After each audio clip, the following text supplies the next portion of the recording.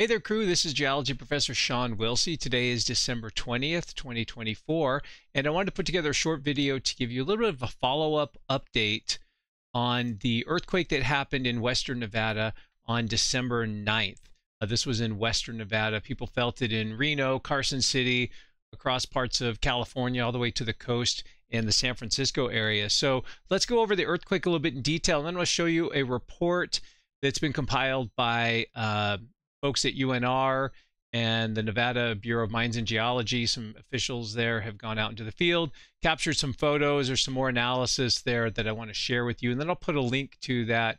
All that information and data you can check out on your own. I'll put that in the video description. So, real quick, uh, the earthquake actually was downgraded to a 5.7 um, after the preliminary uh, earthquake information came through. So, it's been downgraded slightly to a 5.7, but still a substantial quake uh, definitely caught people's attention. Thankfully, again, not destructive, not nearly the magnitude we would need to see uh, damage and fatalities on a large scale.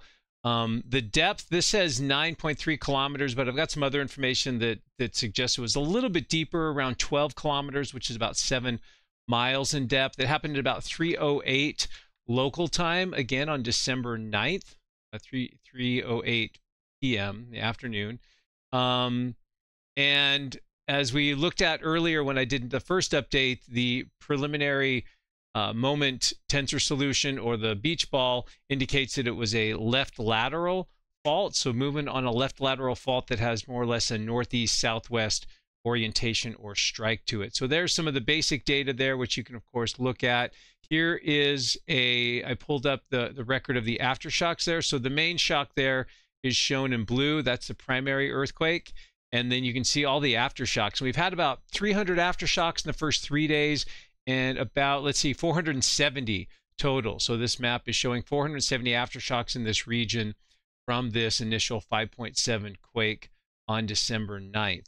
Um, again, you can nicely sort of pick out there the, the trend of that that northeast southwest striking fault. So a lot of these aftershocks are happening on or very close to that fault. And then there's some uh, scattered ones here that don't seem to have any sort of um, arrangement or structure or orientation to define them. So not sure uh, what to make of these, but uh, typical kind of pattern we might see with with this type of these types of quakes. So let's get right to the nitty gritty of the analysis here. So again, uh, here is the report. They're actually calling this the the Parker Butte earthquake. So it's actually been given a name, probably mainly for uh, the most noteworthy feature nearby topographic feature.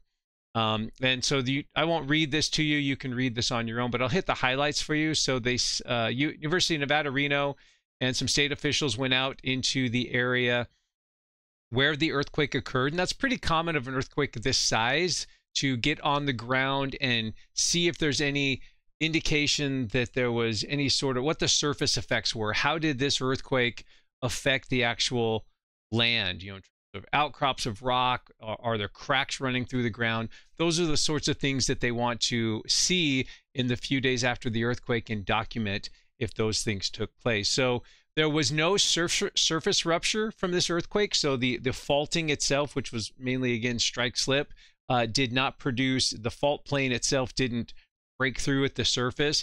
Usually for something like that to happen, we would need to see more dip slip motion. So we'd need to see more up and down motion versus side to side motion. But sometimes these strike slip faults can produce that. They can produce offset at the surface, like with the San Andreas fault. We did not see that with this earthquake, which is is not too uh, out of the ordinary. Typically, it takes around a six, maybe 6.5 usually typically to see surface rupture, but there was no surface rupture. Mainly the effects were uh, some secondary effects, and I'll show you some photos here of those.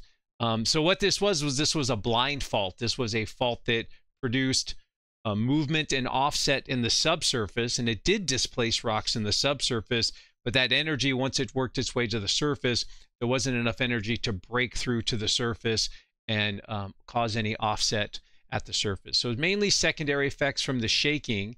And so let me just take you to the photos here. So they've taken uh, photos uh, when they were out in the field and documented things that they believed were related to the earthquake. So things here like some fresh um, material that toppled that may have been re- caused by the earthquake.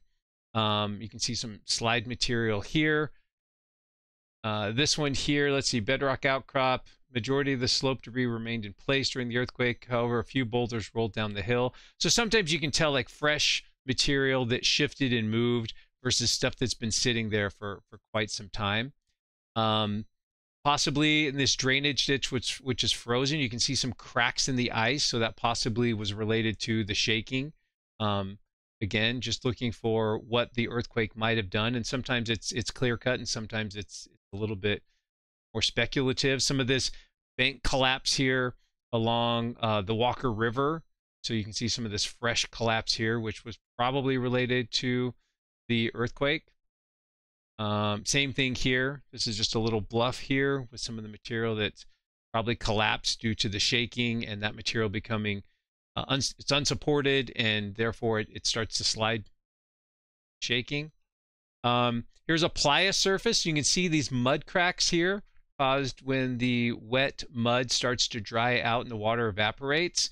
Um, but there's no other related cracks here in the playa surface and just not enough shaking in this locality based on the earthquake size of this earthquake to cause anything there.